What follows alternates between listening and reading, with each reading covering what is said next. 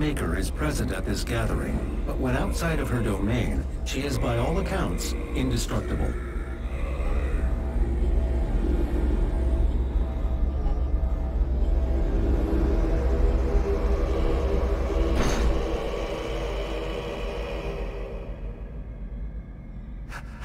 How can this be? No man can pass through the gate. It is...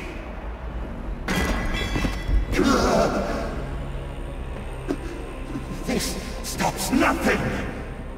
The sacrament of this world to the great Khan Maker will be made, and the energy will be restored once again.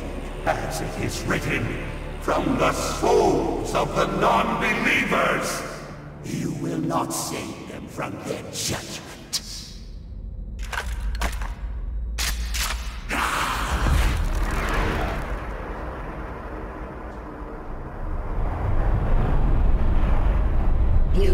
Too far this time. You cannot interfere. This is humanity's chance to repent, to give service to us. You cannot resist the will of the Khan Maker, Activating the portal now. for it was you who was meant to enforce it.